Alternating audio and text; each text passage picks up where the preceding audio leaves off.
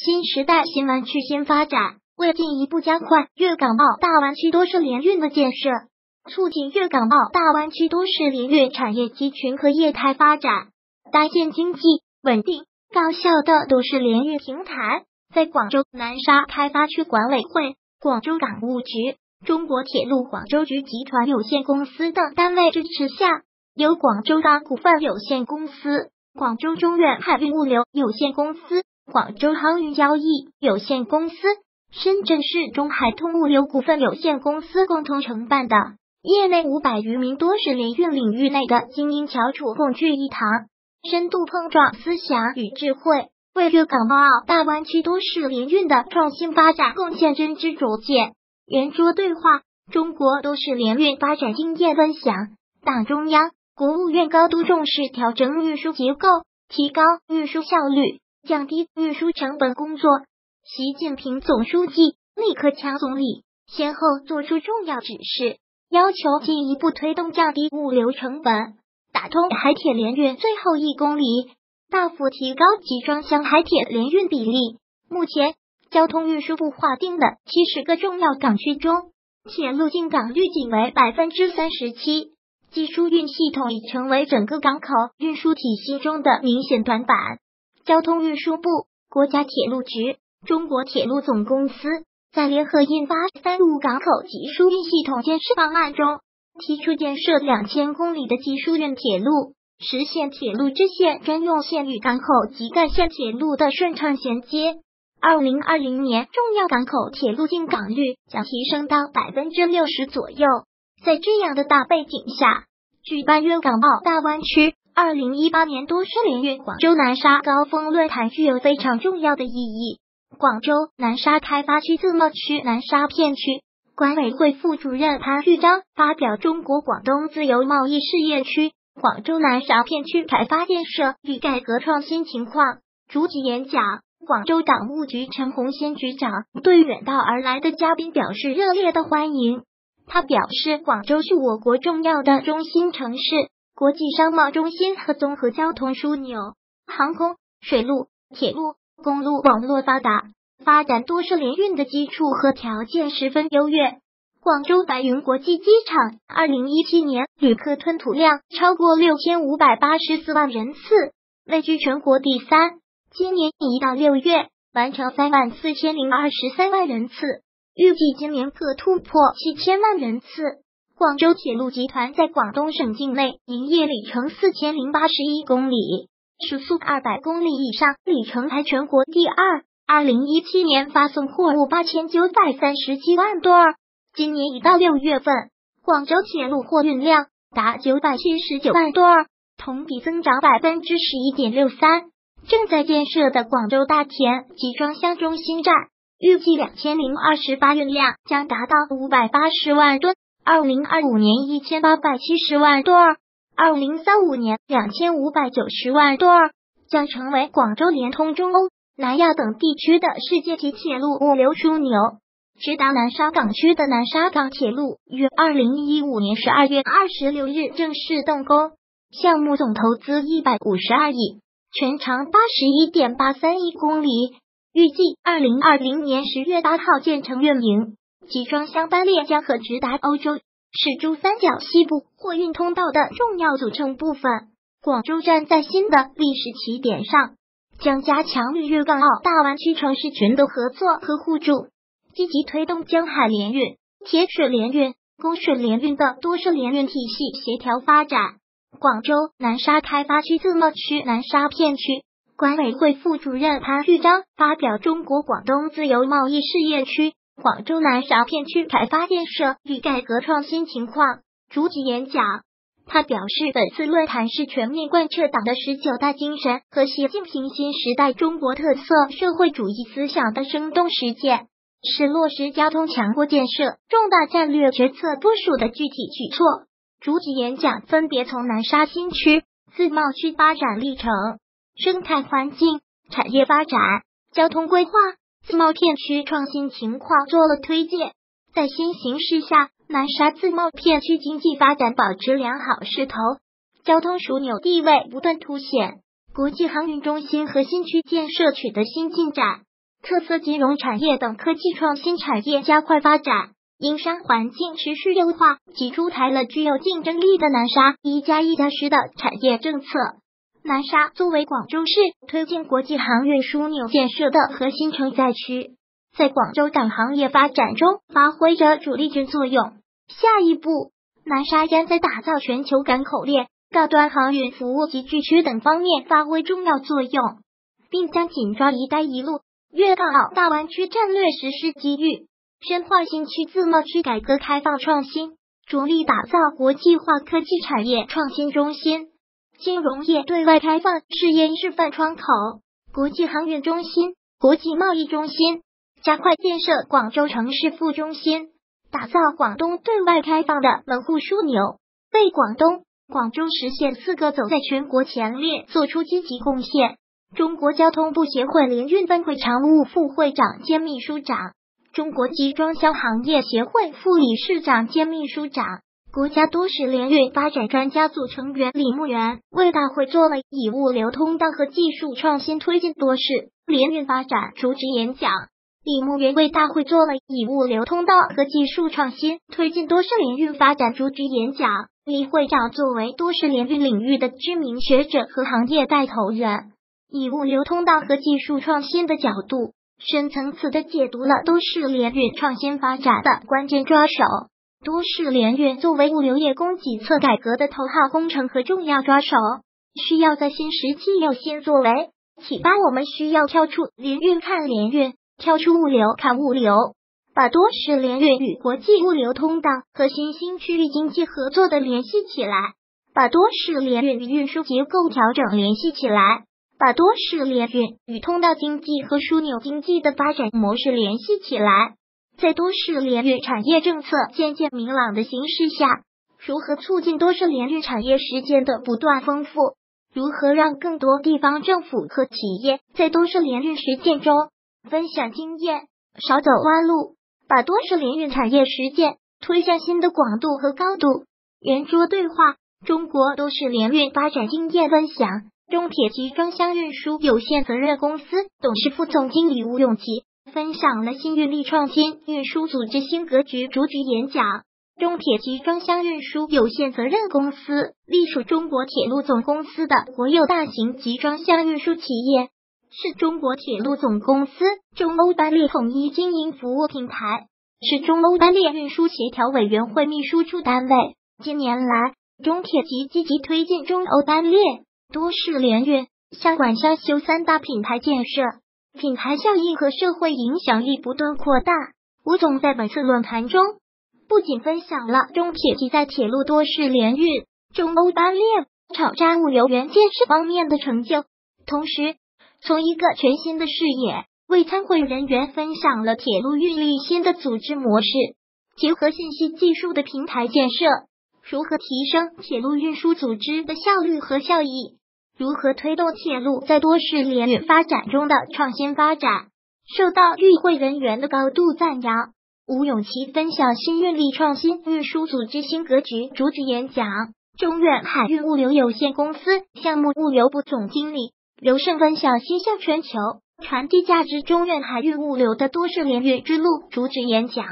中远海运集团致力于打造全球领先的综合物流供应链服务商。近几年来，携手港口、铁路等相关企业，共同推动了中欧中亚国际班列、中俄国际班列、中哈亚欧跨境运输海铁联运通道、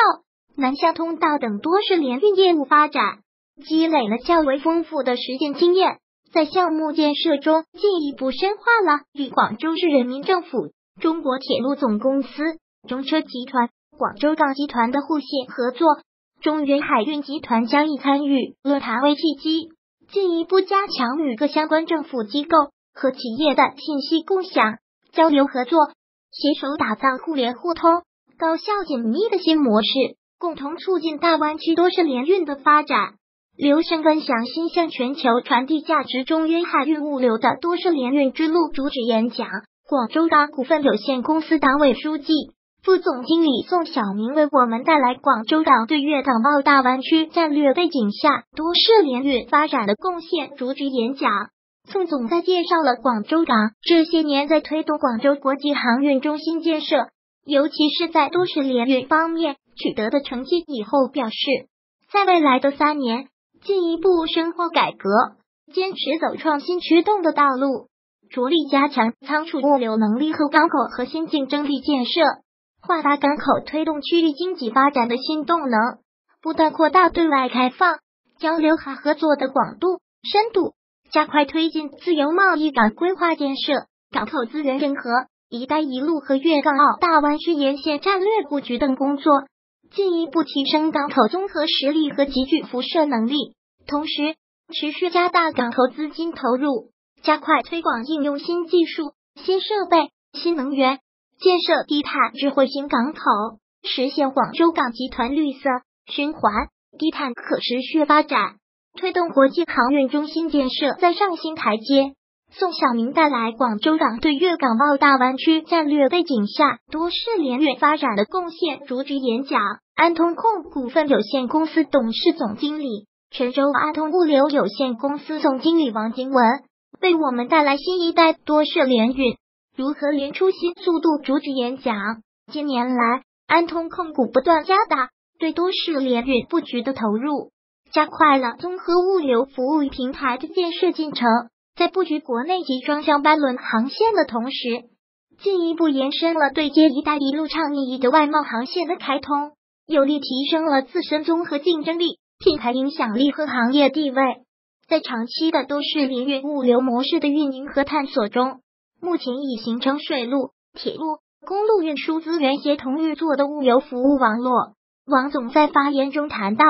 依靠资金、技术与管理三轮驱动，推动多式联运的创新发展，即建立不同运输主体间物流技术共享机制，综合物流系统组成部分完善各组成部分间的良好衔接。技术是推动协同联动发展的关键保证。建立海铁攻坚多层次、多方面管理共同机制，实现政府部门行政管理以及港口运输企业管理两大方面。均有更多的交流合作，通过管理共通机制，可以促进管理水平的提高。以资本为纽带，形成港口、铁路与公路刚利益共同体，采取合资、入股、参股等多种手段的共建模式。王金文为带来新一代多式联运如何连出新速度主旨演讲。粤港澳大湾区将成为我国经济转型升级的主战场。随着港珠澳大桥年内通车以及一系列大湾区利好政策，区域内的城市群也将获得新的发展机遇与挑战。多式联运处于时代发展的窗口期。圆桌对话：粤港澳大湾区多式联运的机遇与挑战。接下来，嘉宾对话环节精彩纷呈。首先由特邀主持人中远海运物流广州公司总经理张宝民总经理主持第一轮对话。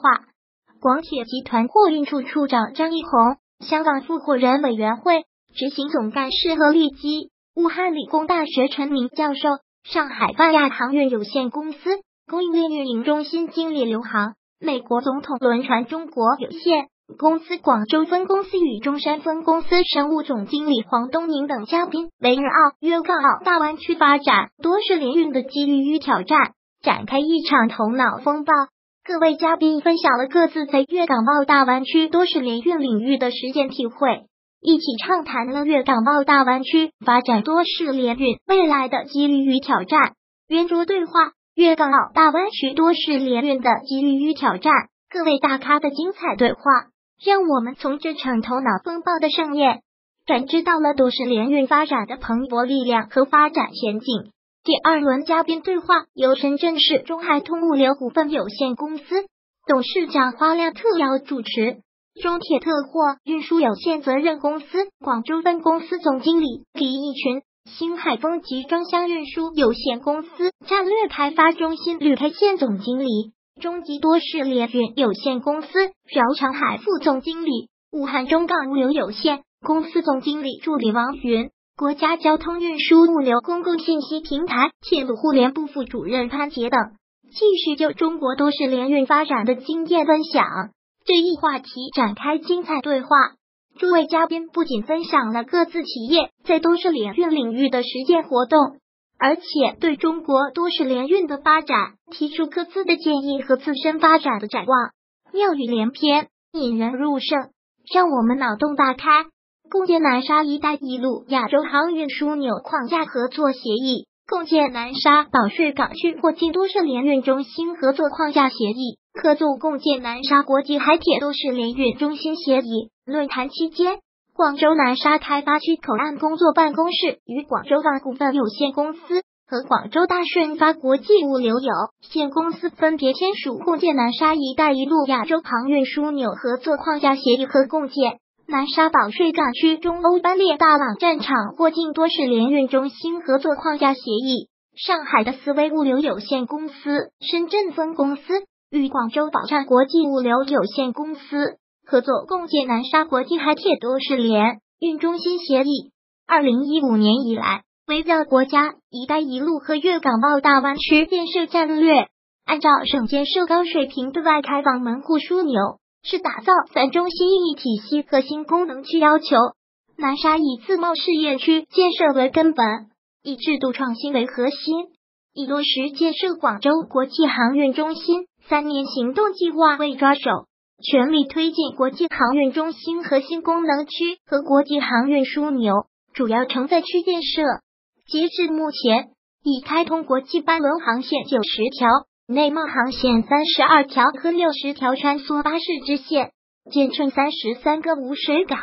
二零一七年，南沙汽车码头实现商品车装卸量八十万台。二零一八年上半年，实现商品车装卸量四十七点一二万辆。同比增长百分之二十四，每日平均有六十个航次的滚装船往返南沙，到上海到天津到大连的海口，已成为我国内贸汽车南北对流运输的南方枢纽港。南沙汽车码头外贸进口滚装船停靠南沙。资料图：论坛结束后的当天下午，参加论坛的来自全国各地三百余位客人，在广州港集团的精心安排下。来到广州港南沙集装箱码头片区参观考察，繁忙的港区一望无际，现代化的集装箱码头和设施让每一位参观者感受到了广州港迈向世界一流港口的雄心。广州港货物吞吐量位居世界港口第五，航线拓展见成效，全球运输网络不断优化，而南沙自贸区为广州建设国际航运枢纽增添新动能。截至二零一七年五月底，广州港共开通集装箱航线二百零二条，其中外贸航线九十六条，内贸航线一百零六条。广州港务局相关负责人在现场介绍，广州港将立足粤港澳大湾区发展，加快港口大型化、深水化、专业化码头建设，计划于二零二零前完成广州港深水航道拓宽工程、南沙港区四期。南沙国际邮轮码头等八大工程，在未来的码头运营中，南沙港区四期工程将由传统码头升级改造为局部自动化乃至全自动化码头。广州港南沙集装箱码头资料图：二零一七年七月十九日晚，广州白云国际会议中心金河厅灯光璀璨，高朋满座。由广州港集团主办的广州港之夜粤港澳大湾区多式联运论坛招待晚宴，来自全国各地的港口企业、铁路公司、航运企业、物流企业、多式联运经营人、综合物流平台型企业、院校和研究机构以及金融企业等代表约三百余人欢聚一堂，共话粤港澳大湾区都市联运发展的美好前景。在迎来粤港澳大湾区发展的历史机遇期，都市联运在粤港澳大湾区将有更大的发展空间。大家表示要不断的作为、担当、创新、改革开放，推动粤港澳大湾区多式联运产业的发展。改革开放的大潮从朱家出海口汹涌澎湃而来，南沙就在这大浪淘沙的浪潮下，印着湾区中心的金色头衔。一颗珠江明珠展现出迷人的风采，门户枢纽的地位越来越明显，开放的大门越来越开，粤港澳大湾区的苍穹之顶让新一轮开发建设浪潮澎湃，在新时代新征程的筑梦路上，让每一颗沙子金光闪耀。南沙未来，南沙自贸区资料图。二零一七年初，交通运输部等十八个部委联合印发关于进一部鼓励开展多式联运工作的通知，将多式联运发展提高到了国家战略高度。本次论坛共同探讨把铁、公、海多式联运作为推进物流业供给侧机构改革和降低物流成本的重要措施，大力推动多式联运业务的发展。在我国，多式联运。进入了快速发展的新时代。作为我国综合实力最强、开放程度最高、经济最具活力的区域之一，粤港澳大湾区发展多式联运潜力巨大，前景可期。通讯员花亮、王亮，摄影李夏彤，南沙开发区口岸办，广州航运交易公司。如果喜欢本视频，请分享并订阅本频道。访问 tt news 点 xyz 获取更多相关资讯。